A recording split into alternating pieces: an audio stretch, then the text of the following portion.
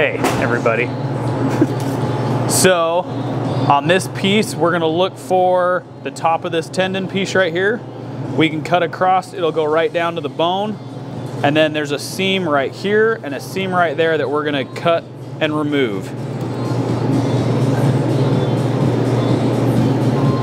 So we'll cut down to the paddle bone.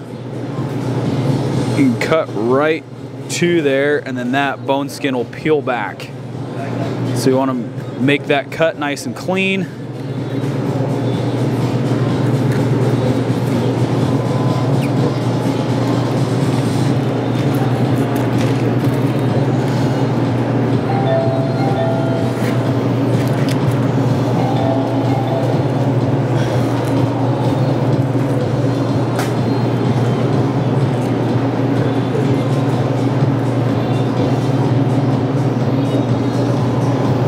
So doing this prep work is going to save us a lot of time in pulling this paddle off to get the flat irons off. So that underblade is just all trim.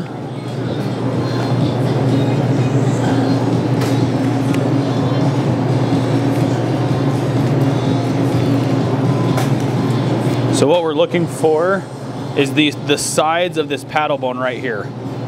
So then we're gonna cut down along the side of this paddle bone, right along the chuck tender.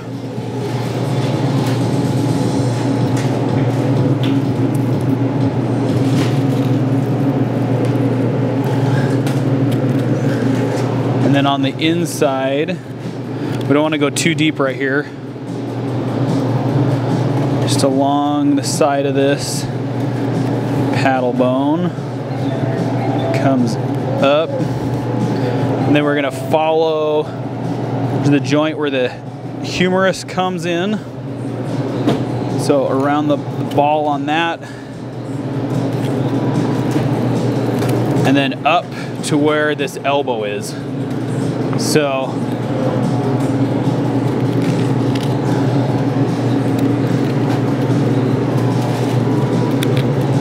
That prep line on that side right up to where, so this elbow sits right there.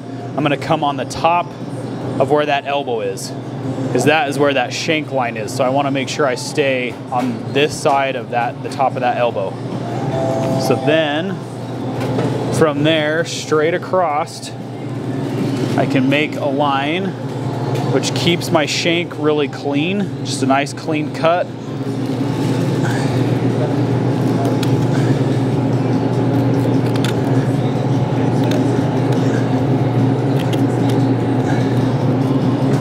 Cut this around here to open up the top of this.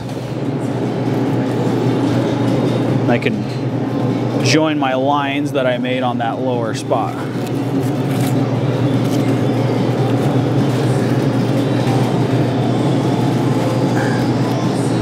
So that's going to open up there. And then on this side, where this tendon comes through and hooks into this bone, I'm gonna make a cut and then put a California hook in there and hang it up.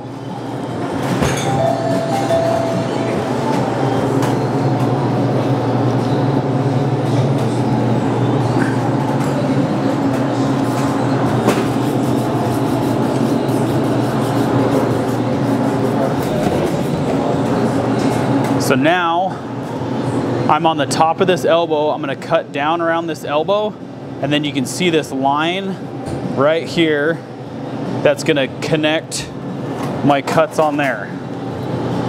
So I'll cut around the front of this elbow, back up, and then I'll connect on the same cut that I made for this shank piece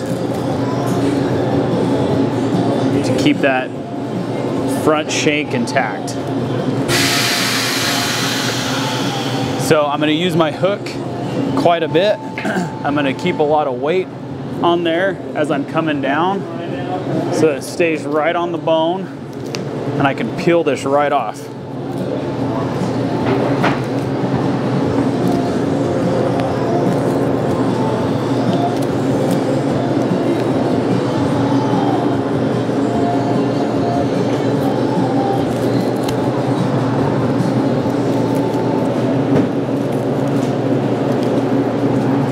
So when I get to here, you can see this tendon that's connected to that, this ball. I want to cut that tendon as high as I can. So I'm going to cut it all the way up here, right where it connects in, because that is going to be my handle on my flat iron. So I want that sticking out as far as I can so that I've got more of a handle to peel, to be able to peel the flat iron from. So if you cut too low on this tendon, you have to cut into the meat to be able to get a handle.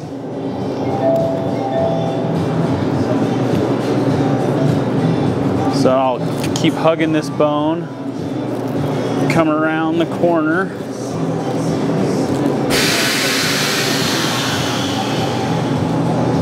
And then right here on this underside, I'm gonna cut hard up against the paddle, which will separate. You can see that bone skin.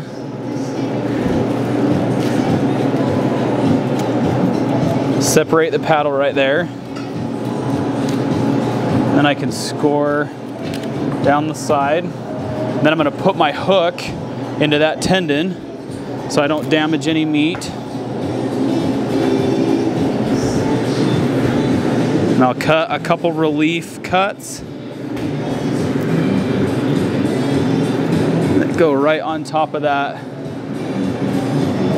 paddle bone to open this up.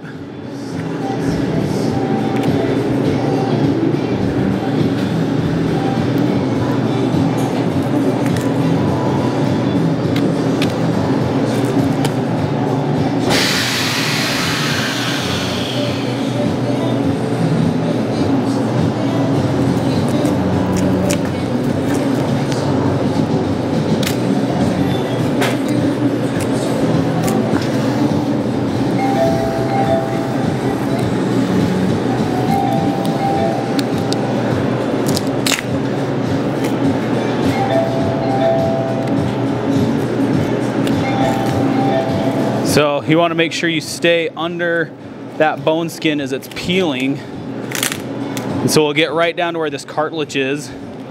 We'll pop that cartilage open and then that tells you where to cut. So let me hook in. I'm not going to touch the meat. I'll cut right across the bottom where that cartilage is.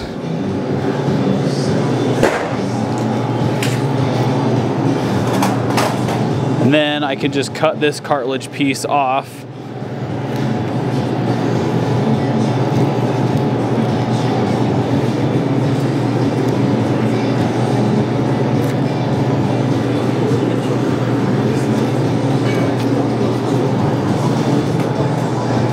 So now we have the mock tender, the chuck tender on this side. You can separate through here.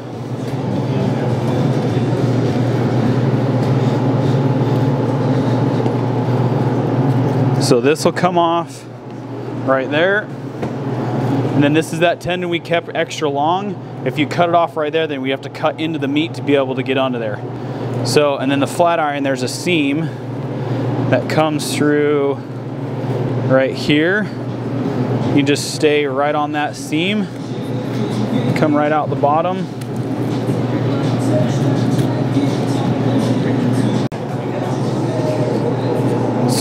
Following that same seam all the way down and out the bottom. So there's a flat iron piece. This is the shoulder clod piece.